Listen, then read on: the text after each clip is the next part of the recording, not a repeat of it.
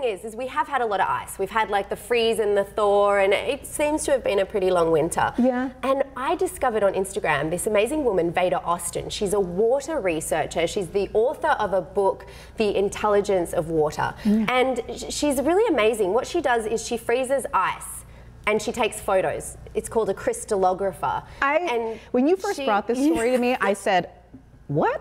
And I didn't say it in a way that I was just like saying this is kind of weird. I was like really interested by it because you started by showing me the pictures, and I think people are really going to find this very interesting. It's really, really amazing. Mm-hmm. Pictures speak a thousand words. Take a look at what Veda has been discovering when she puts intentions into water and then takes a photo of that frozen water. Have a look. Whenever you drink a glass of water, it's nice to remember it's been through the clouds, it's been through the trees, it's been through the animals, it's been through our ancestors.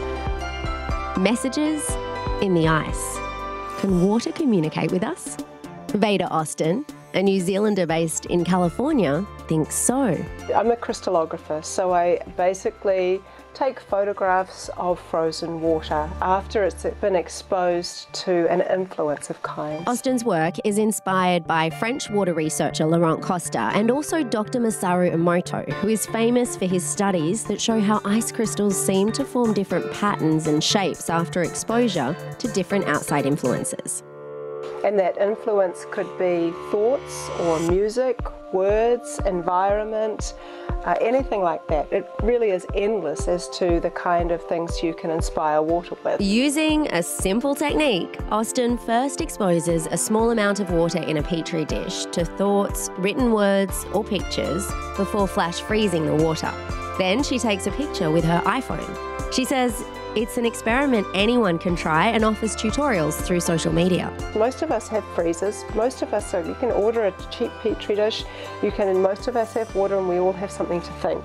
Currently, Austin is working on a collection of hydroglyphs. There's so much more to water than it just being a drink and washing away our waste and cleaning our bodies. I was wondering whether or not water really did uh, have some kind of ability to store information. Think of these hydroglyphs as being just like ancient Egyptian hieroglyphs, only formed in frozen water after that water has been exposed to a word. Now I have 31 glyphs. It's taken me three and a half years to get that many because it takes so long to say I have one. The process of discovery requires Austin to see an image occur constantly. This tree of life is one hydroglyph Austin has connected to the word wholeness. If it makes you just stop and think that water might actually have something, some depth to it, that it is ancient, that, that we're filled with it. Just to even remember what was the last word you spoke. Because there is a frequency, there is a vibration in your mouth through the saliva, and that will be the first thing that the water will touch. Science or magic? So for me, working in this realm of water and taking these photographs has led me on a much deeper journey than I ever imagined. So cool. Wow, that's deep.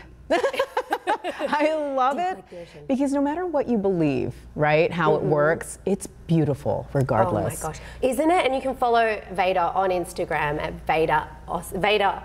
Uh, Veda Austin underscore water. I'll share it on our Facebook page. Yes, take a look at those pictures. Aren't they gorgeous? Oh my gosh, so my beautiful. gosh. I, I just love it because there is a lot of there are a lot of studies out there where they have intention people set intentions to the water and then look microscopically at the. Yes. ice crystals that are formed. I mean, Veda's just taking the photos with her iPhone, which is something anyone can do, which Wow, is amazing. really? I mean, they look But amazing. isn't it interesting how there's like it just sort of you know the love versus anger, and it makes Mm-hmm. you think about like Veda said, what is the last word you said? What came out of your mouth last? And how does it affect our bodies, which are Mm-hmm. so much water? ourselves, let alone people outside of us, but also ourselves. It's so, oh, I think it's, Oh, anyway, I'm a total hippie. Deep moments on this Tuesday. so cool. Thank So, you so so cool. much for that, Mel. Yeah, fun.